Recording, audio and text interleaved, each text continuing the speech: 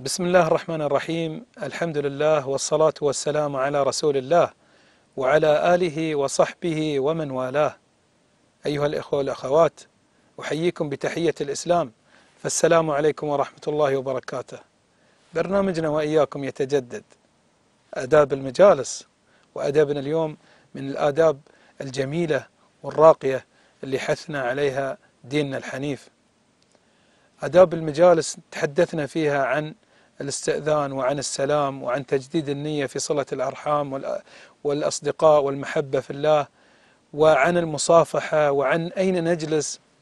والآن وصلنا إلى يعني إنزال الناس منازلهم واحترام صاحب المجلس واحترام من يحترم صاحب المجلس ومن يقدرهم. فإذا دخلنا المجلس وشفنا صاحب المجلس موجود مثلا مع آه، مشايخنا الفضلاء أو مع يعني آه، كبير القبيلة أو شيخ القبيلة أو مع ناس من آه، ولاة الأمر أو من الوزراء أو من المسؤولين. ف وهو معطيهم أهمية فما يصير إحنا ندخل المجلس ونقلل من أهميتهم. ما يصير إحنا نصافح الجميع. وإذا فلان مثلا بيني وبينه موضوع في العمل وما مشى الموضوع هذا فأروح أنا أحتقره أمام الموجودين. أو أني ما سلم عليه والعياذ بالله. فهذا يعني خرج من الآداب الإسلامية اللي حثنا عليها ديننا الحنيف.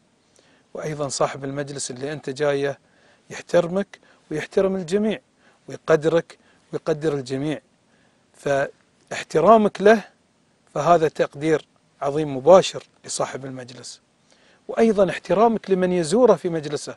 وتدري أن صاحب المجلس يحب فلان في الله وهو مقرب عنده. فما تروح تقدره ذاك التقدير فكأنك يعني وصلت رسالة لصاحب المجلس بأن هذا الشخص لا يستحق التقدير. فما في داعي حتى لو كان بينك وبين هذا الشخص مواضيع سواء تخص العمل سواء تخص آه، يعني أمور خاصة بينك وبينه بين هذا الشخص فما في داعي تظهرها للآخرين.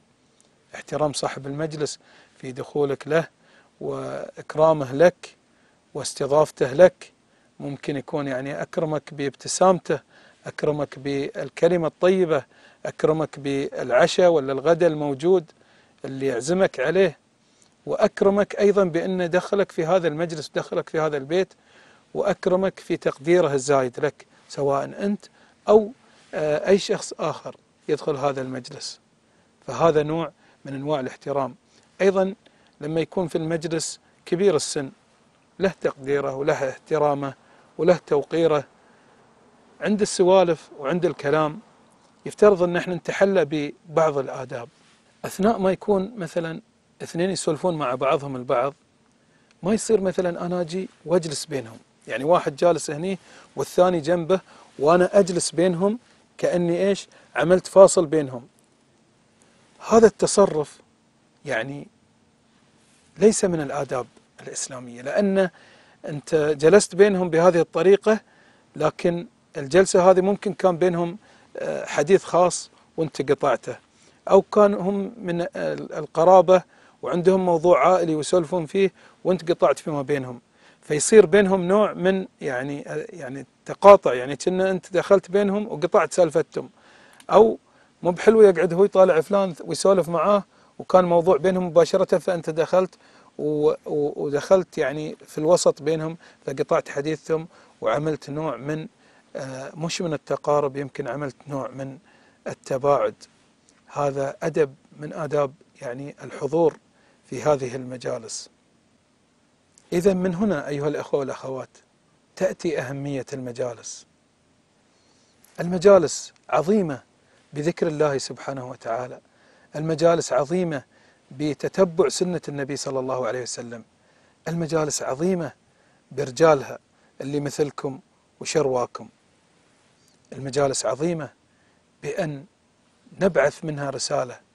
رسالة فيها سلام ورسالة فيها تقدير ومحبة خالصة لوجه الله سبحانه وتعالى وأيضا مدرسة من المدارس اللي نعلم فيها أبنائنا كيفية التحدث والسلام والتواصل مع الآخرين ومن خلالها يبنون علاقاتهم بالآخرين فيكون لهم المستقبل بأن يكون هذا المستقبل على وضع أرضية صلبة في المعرفة والعلم والنور والعلم أيضا. قلنا بما أنه موجود في المدارس والجامعات العلم الغانم موجود في مجالسنا ومجالسكم. أسأل الله سبحانه وتعالى أن تكون مجالسنا ومجالسكم عامرة بذكر الله ولا ننسى دعاء ختم المجلس دائما. أذكر نفسي وإياكم. سبحانك اللهم وبحمدك. نشهد أن لا إله إلا أنت. نستغفرك ونتوب إليك. نلتقي على خير في أدب من الآداب الجديدة في حلقات قادمة إن شاء الله. أستودعكم الله. والسلام عليكم ورحمة الله وبركاته.